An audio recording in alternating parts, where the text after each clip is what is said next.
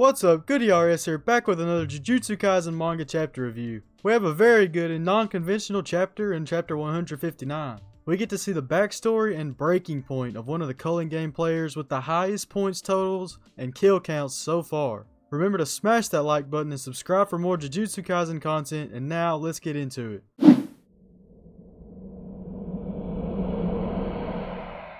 In case you missed last week's chapter and review, chapter 158 dealt with Hakari joining Yuji and Megumi, learning about the sealing and death of Gojo and Principal Yaga respectively, and beginning to form a strategy for the culling game. Yuji's apparently already a player in the game, which is a pretty big deal, and that's because Sukuna apparently made a deal to participate in the culling game over a thousand years ago with Kenjaku. Speaking of Sukuna, he's being hunted by Kashimo Hajime, a player in the culling game that's apparently over 400 years old and ultra powerful. He's the only player in the culling game with more points than the main character of this week's chapter, Higuruma Hiromi, which brings us to chapter 159. This chapter gives us his backstory and what I'd like to call his Joker moment, or his turning point if you will. We begin by seeing Hiromi as a defense attorney working a case where he's to defend a client against a murder charge. It's stated that in Japan there's a 99.9% chance that a criminal trial will end in a guilty verdict for the defendant. So it's looking gloomy for Hiromi and his client from the start. Anyway, the client describes the situation to Hiromi. His name's Kita Oe, and his situation's a classic example of wrong place, wrong time. Basically, a mother and a daughter were found dead in their home after being stabbed to death. Oe was a prime suspect, so the police questioned him. He owned a cat,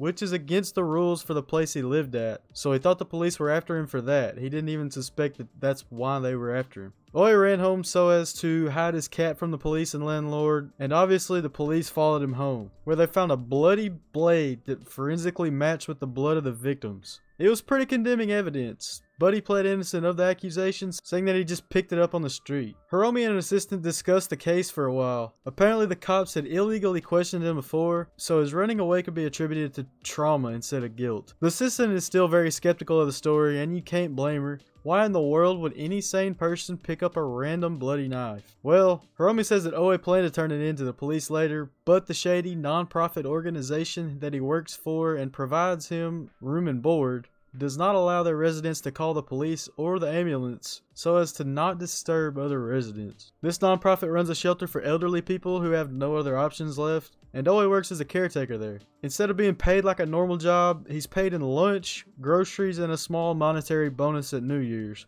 But he still has to pay a 50,000 yen or about $455 rent payment per month. That's a lot if you don't make any money. Now, as we all know, nonprofits, such as charities or organizations like this, are sadly often abused by the people at the top. And the shadiness of this one points to something similar going on. It was said that many residents of the place have a criminal record, so it's no surprise that the bloody knife was just laying around, which could well prove Oe to be innocent. Hiromi plans to look into Oe's background while he has his assistant Shimizu do the same for other residents and look at the nonprofit's taxes and financial activity, see what's going on there. Shimizu gives us an insight into the life of a public defender, stating that the state assigns these impossible cases, the pay's terrible, and you're severely overworked. It's such an impossible case that she asks Hiromi why he would even take it on in the first place. To which he replies that every once in a while, a tough case does you good and keeps you on top of your game. Shimizu says that it's not just sometimes, which suggests to me that he has a habit of trying to help others in need get out of their horrible situations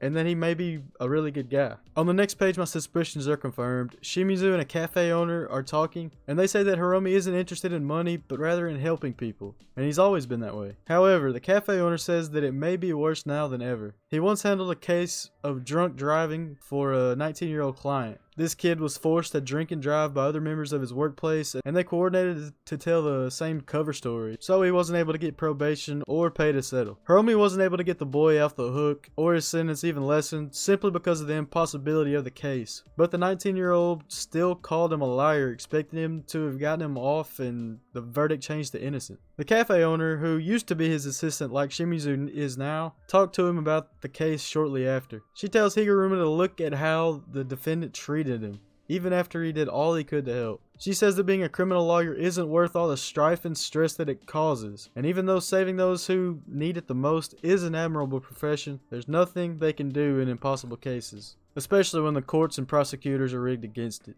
On top of that, their clients hate them when they aren't able to completely save them. Higuruma makes the point that these people are often at their lowest state financially and emotionally while fighting these court battles, so they just take it out on their lawyers. The cafe owner questions him about his own mental state, to which he has no answer at this time. And then we skip back to Oe's trial. The court actually finds Oe innocent after examining everything that Higuruma was able to pull together. He wins the first trial, but expects that they'll immediately appeal and take it to a second trial. Although the evidence piled up in Oe's favor, nothing from the robbery of the victims was found in Oe's place. Someone who lived at the same shady place disappeared right after the crime had been committed, and Oe was seen on security cameras in a convenience store at the same time as the murder, but he was still found guilty and given life in jail at the second trial. It's explained then that the prosecutors have virtually unlimited funds to make their case against the defendant, but it still makes no sense as to why Oe was found guilty. No new evidence was presented by the prosecutors, and he was convicted solely on the grounds that the shady person who disappeared after the murder shouldn't be suspected at all. I don't know how that even makes sense.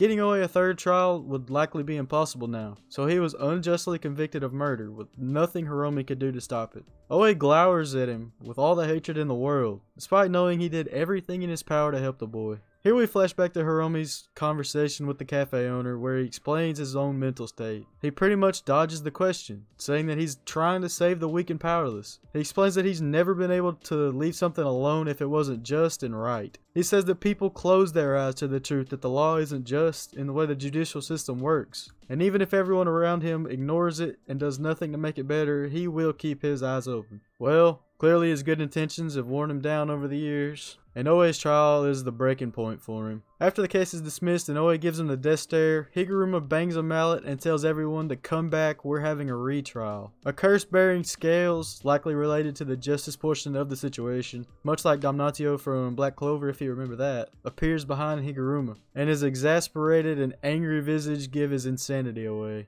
He's finally reached what I call his Joker moment, and now he's a player in the culling game. I have a feeling he's going to be a greatly misunderstood character by the other characters in the story. We understand him. But when Yuji and the boys meet up with him, it'll be interesting to see whether or not he plans to help them change the rules to help the innocent who were thrust into the culling game with no choice in the matter. Before this chapter, I assumed that the boys would have to beat up Kashimo and Higuruma to achieve their goals. But despite his high point total and kill count, Higuruma's philosophy was originally to help those in need. So I'm ready to see what approach he takes when confronted with the decision of whether or not to help those who are in need of it the most, like Megumi's sister Tsumiki. Let me know down below if you think he'll help them or if his mental state is so broken down that he just wants to kill everyone. Hope you've enjoyed this breakdown of chapter 159. As always, remember to smash that like button and subscribe for more Jujutsu Kaisen content. Check out the video or playlist linked on screen for more, and with that, I'll catch you next time.